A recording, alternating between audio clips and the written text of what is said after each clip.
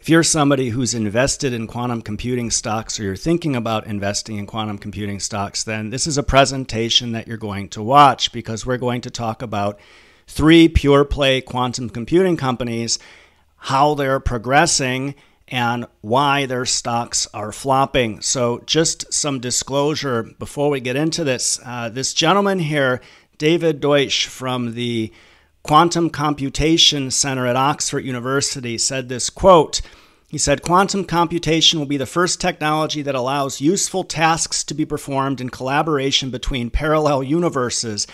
And I recall this quote being uh, put in front of an audience of several hundred investors and physicists, some of the smartest people in the world, and everybody just nodded their heads. And it goes to show how complex a technology we're talking about. Even the experts out there can't explain how quantum computing works or if it's even working. So, the only indicator that we look towards to show true progress would be revenue and especially revenue growth. So, this Dilbert cartoon here is a uh, great one. Dilbert's boss comes along and asks how the quantum computer prototype is coming along, and Dilbert says that the project exists in a simultaneous state of being both totally successful and not even started. And then his boss says, Well, can I observe it? And Dilbert says, That's a tricky question. So, just a bit of nerd humor there. Do me a favor on the lower right corner of this screen. You see that red subscribe button? Please click that, and that will help support our channel. A lot of you have asked why we aren't bigger. Well, it's a function of trying to get people to subscribe and to share our content. So if you do that, then that helps us grow and it provides us with an ROI, which makes it worthwhile to produce these videos. So when it comes to quantum computing, we like to check in about every year or so. And if you watch the media, there's a lot of promising press releases. So IBM delivered quantum computers to customers in Japan and Germany last year. Five years ago, D Wave had uh, brought out their 10 foot tall quantum computer that retailed for $15 million. They appear not to be selling very many of those. A Chinese startup has reportedly started offering a desktop quantum computer for $5,000. And then 2019, Google claimed to have achieved quantum supremacy. We actually wrote about that. And I'll put a link in the description of this video with some of the more key research pieces we've produced around quantum computing. But today we're going to talk about three companies that became public using special purpose acquisition companies or SPACs. And this chart shows the performance of SPACs over the past year compared to a NASDAQ tracker fund QQQ. And we have our own data. So we have a tech stock catalog which has somewhere around 450 tech stocks and there with a lot of rich data fields. And we're able to filter on SPACs, and 90% of these disruptive tech SPACs that we've covered trade less than their offering price of $10 a share. 78% have lost uh, half their value or more, and 43% have lost 80% or more. So SPACs were a disaster as we said they would be. We've always warned retail investors to avoid them like the plague. We've only invested in one ourselves, and even then, quite tentatively. So the three companies we're going to talk about today all came about as a result of SPACs. You have IonQ, Rigetti, and D Wave. These are their respective tickers. Their combined market cap of about a billion and a quarter dollars, not very big. Their performance has been dismal, but what's even more dismal are the revenues they're bringing in, which you can see in 2021. Not a single one of these companies had meaningful revenues, which we uh, have defined as $10 million or more. And then you can see on the far right here the revenue that they've brought in for the first three quarters of this year. So let's start about uh, start talking about IonQ. This is our preferred of those three, which isn't saying much. And that's largely because of the caliber of the team, though uh, others disagree with that, in particular Scorpion Capital. We'll talk about that in a second. But they ended 2021 with $2.1 million in revenue, not very much. That's less than half of what they originally estimated in their SPAC deck. And for all these firms, they see have, seem to have missed their SPAC deck estimates. And you need to hold management's feet to the fire. The SPACs totally overpromised and underdelivered, and nobody seems to say anything about that. They should be asked why. They should be held accountable for that, but nobody seems to care. So their estimates this year, again, missing their SPAC deck estimates of $15 million.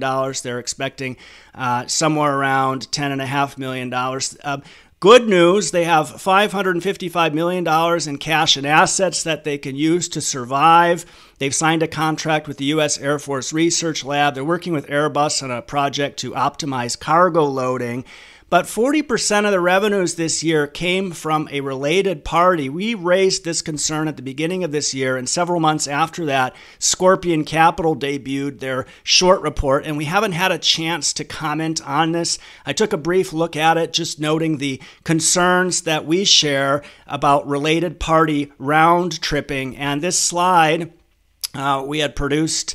Uh, before in our previous presentation on IonQ and had pointed out that they have this relationship with a university that's considered a related party and that they're deriving revenues from that relationship somewhere around close to $16 million. And as I said, 40% of this year's revenues come from that relationship. And you can go into the research piece that was used to produce this video I've linked to the 10Q and cited the exact page so you can go read this for yourself. But um, similar to Ginkgo Bioworks or Palantir's uh, work they've been doing with SPACs, we don't consider related party revenues to be very meaningful because they don't show proper industry demand. So when it comes to IonQ, when we look at the progress they're making, we will discount that for the related party revenues. So let's move on to talking about Rigetti.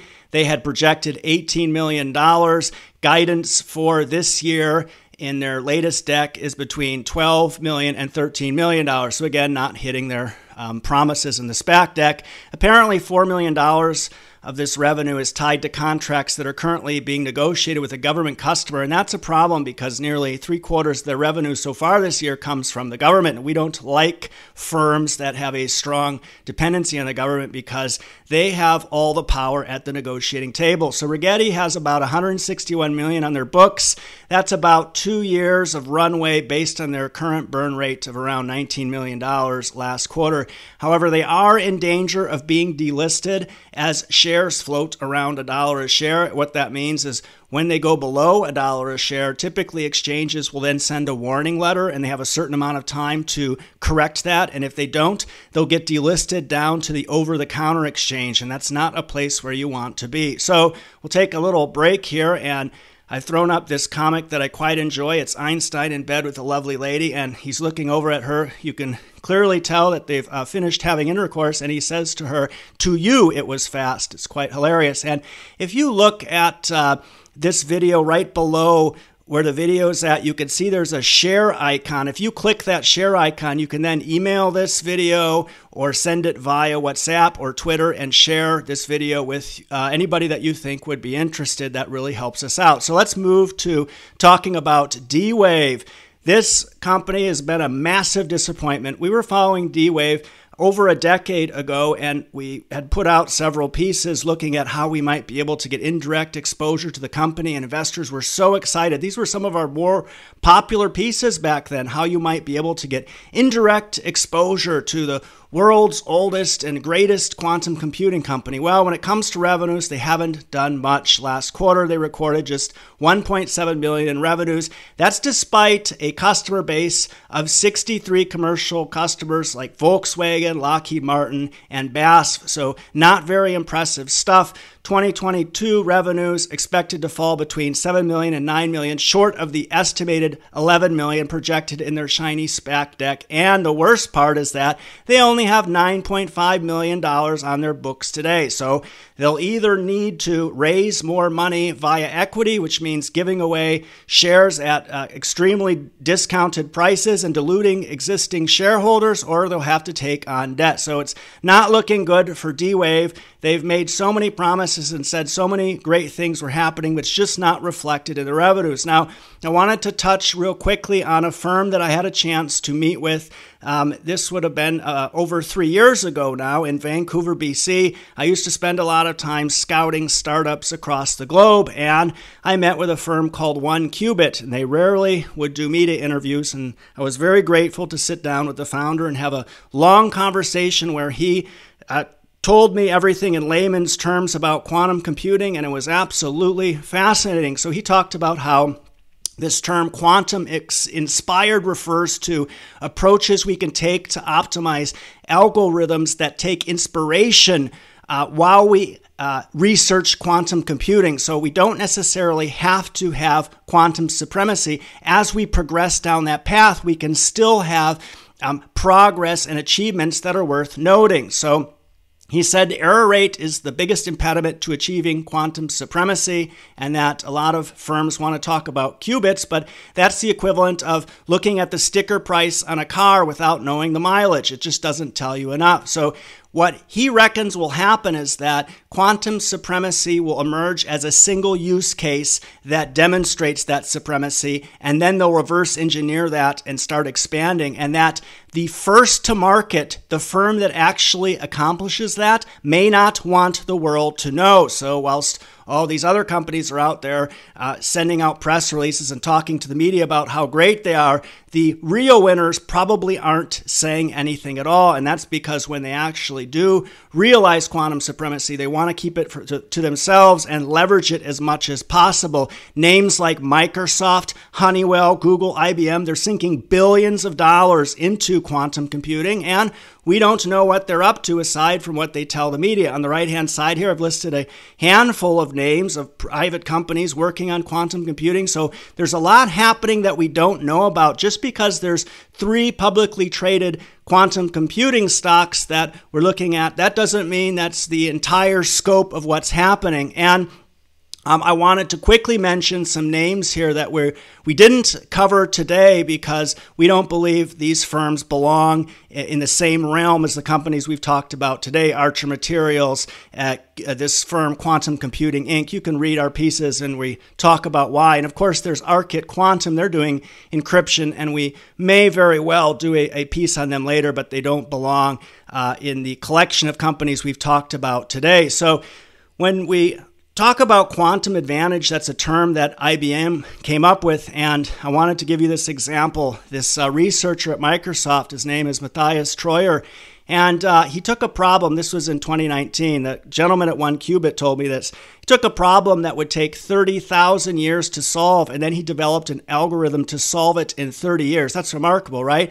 But just recently, he announced that he developed an algorithm that can solve that same problem in minutes. So you see where we're actually making a lot of progress as we try to commercialize quantum computing that's actually benefiting society and mankind that isn't necessarily the big headline of quantum supremacy. So that's uh, perhaps the quantum advantage that IBM is talking about. So, just to conclude, these three publicly traded stocks are all pure plays. We wouldn't invest in any of them right now, mainly because none have meaningful revenues and they're under our market cap cutoff of a billion dollars. Um, delisting may happen for Rigetti and fundraising needs to happen for D Wave. IonQ looks the most promising aside from their related party revenues. And of course, you want to look at that short report. Usually, where there's smoke, there's fire. And certainly, if you're long, IonQ seems to have a lot of cheerleaders. If you're long a stock, you really want to read that report and see what you think might be credible in there and worth checking out. So, certainly don't discount the big four the Googles, the Microsofts, the Honeywells, and the dozens of other startups out there that may very well be making a lot of progress and not saying anything. So, as usual, we'll check in a year from now and see what's happening. Um, please uh, do me a favor. Go ahead and you see this blue icon on the right? Please click that. Subscribe to our channel. And i've put up a video here that's quite interesting which talks about IonQ that you can check out next. Thank you very much for taking the time to watch this today